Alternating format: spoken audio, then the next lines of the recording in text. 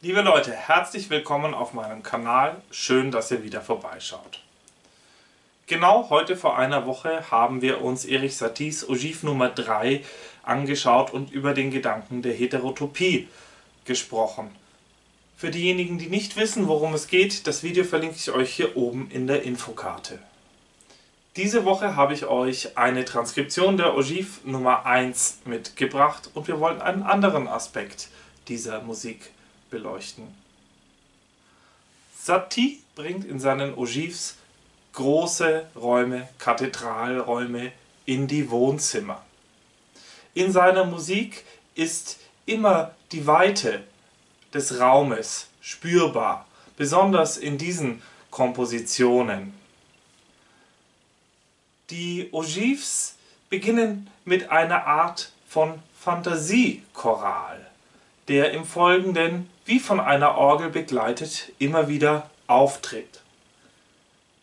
In der Gegensätzlichkeit des Ausdrucks, der Empfindung in den einzelnen Teilen der Komposition liegt immer auch eine gewisse Form von Schmerz oder ein Aufschrei, denn es ist eben nicht nur der weite Raum, der in der Komposition erfahrbar wird.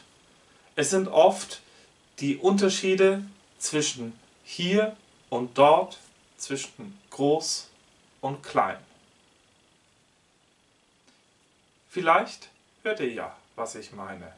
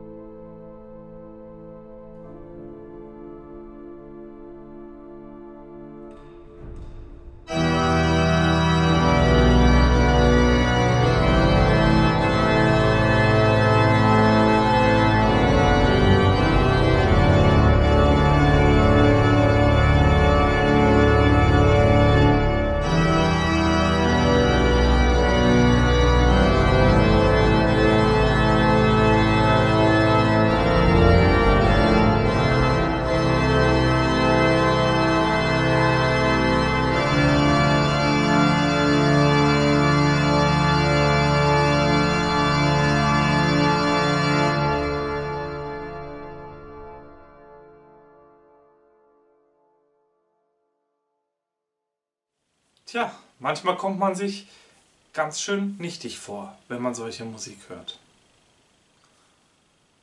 An dieser Stelle möchte ich auch noch einmal auf die sonoren Wandbehänge verweisen. Ihren Kanal verlinke ich euch hier oben in der Karte. Wenn euch das Video gefallen hat, dann lasst doch gerne ein Like da oder abonniert meinen Kanal. Wenn ihr mehr solche Sachen hören wollt, schreibt es mir gerne in die Kommentare. Ansonsten bleibt gesund und auf ein Wiedersehen.